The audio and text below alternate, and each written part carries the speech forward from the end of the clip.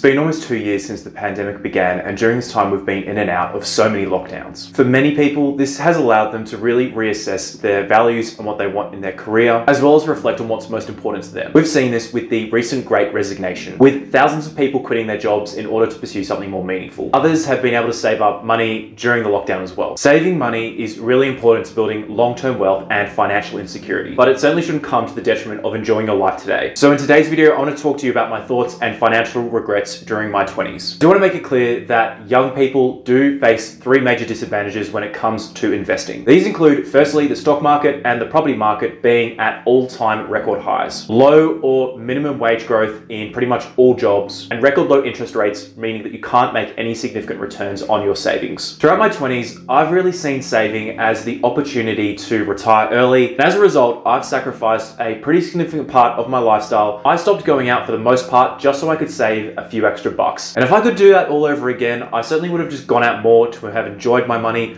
whilst at the same time just being smarter with my savings as well. If I had instead just invested my savings into the stock market throughout that time. So my biggest regret throughout my 20s is just simply saving for the sole purpose of saving. The whole point of saving money is so that you can use that money to invest in something, maybe property or shares, and see the value of that investment compound in growth over a very long period of time. So unless you do have very specific short-term goals that you're trying to save up for, then just saving alone in your 20s, in my opinion, is a really bad idea. It's also important to remember that any amount of money that you save during your 20s probably won't pay off at least for several decades or well into your 50s and 60s. What's the point of throwing away the best years of your life just so you can get to your 60s and your 70s and be financially secure. Saving and investing, at least in most Western countries, also carries with it a significant tax burden. In Australia, if you sell an investment within 12 months of buying it, you are taxed the full amount on any profit that you make. And therefore, in most cases, this will likely mean that about 30 to 45% of your profits will go directly in tax to the government. So even if you do manage to work really hard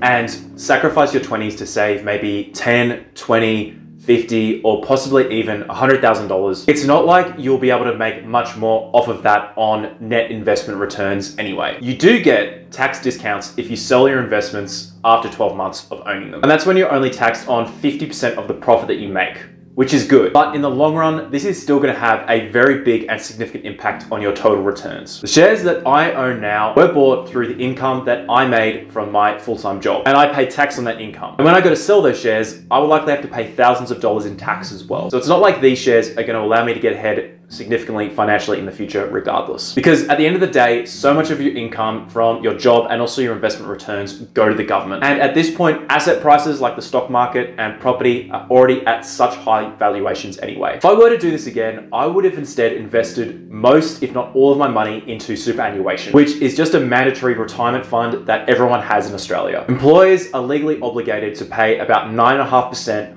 of someone's full-time wage into their superannuation. There are huge tax advantages when it comes to superannuation as well. The government has an incentive for people to have large amounts of money in their superannuation so they don't have to subsidize them with a pension at retirement. And this is why contributions by employers into superannuation are only taxed at 15%. You can then salary sacrifice even more into super up to about 27 grand a year, which is again taxed at 15%. Any money that you withdraw from super over the age of 60 isn't taxed at all. These tax rates are much, much better than the tax you're charged on your take home pay from your job, which can range from about 30 to 45%. I've probably paid at least $100,000 in tax over the last five to six years, which could have instead just gone into my super account and have been taxed a lot less. It would have also given me a huge peace of mind knowing that I could have also during that time gone out, spent money, traveled as well, whilst also knowing at the same time that a significant amount of money was going into my super fund, which would have compounded over time and resulting in long-term financial success. Don't ever see saving as something that you have to drastically sacrifice today in order to have a better life in the future. Just think critically about how you can take advantage of certain tax systems in order to still be able to enjoy your money today, whilst at the same time building long-term wealth. Another regret is chasing each job solely for the purpose of getting a pay rise. Whilst it's important important to build your salary and your long-term career. You certainly don't want to job hop for the sole basis of earning an extra five to 10 grand a year. Instead, it's really important to think about what it is that you actually want to do. Most jobs in Australia, unless you study medicine for 10 years and become a brain surgeon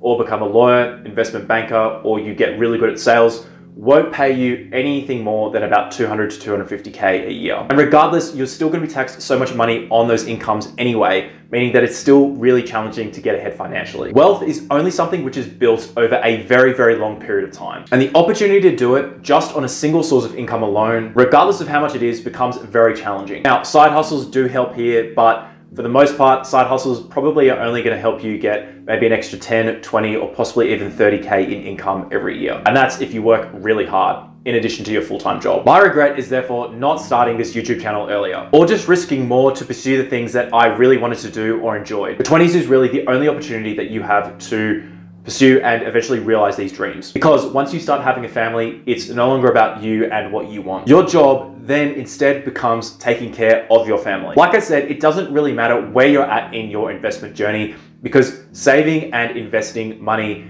doesn't really make a difference anyway unless you leave it for several decades in order to compound. It's only then that you'll be able to start living off the investments and therefore no longer have to rely on a full-time job. So if there is something that you're really passionate about, just go for it. The fact that you found your passion already means you're 10 steps ahead than most people. There's nothing you're going to regret about it, and you can always just find another job that's going to pay the bills. If you want to expand your mindset and the possibilities of building wealth during your 20s, then the best outcome is to travel. Traveling not only allows you to enjoy the money that you've worked so hard to save up for, but also makes you realize that there are so many other ways and possibilities to make money online. You could start a YouTube channel or sell stock photography and videos online. Once you get really good at creating online content, you can then also build and sell courses online at scale. Just having a job and even a side hustle makes it very difficult to get ahead financially because you're only able to save in direct proportion to the amount of money that you earn, which is also in direct proportion to the amount of time that you have as well. But with an online business, you can scale your sales, meaning that you can make money which doesn't have to be in direct proportion to the time that you spend earning it. It takes a huge amount of upfront time in which you won't get paid very much. But once you start to build an online audience, it then just becomes a case of selling your products at scale. These are all the thoughts that you get to experience whilst you travel because it opens up your mindset to all of these unlimited possibilities. If you spend more time traveling traveling during your 20s, you'll also be able to meet other people who've got similar mindsets. Traveling alone brings me to my next point, which is not spending enough time networking and meeting new people who may have different perspectives in order to build long-term wealth without having to sacrifice your lifestyle and save week by week. I think in Australia, there's this really big cultural idea that once you've been able to save up and finally buy a property,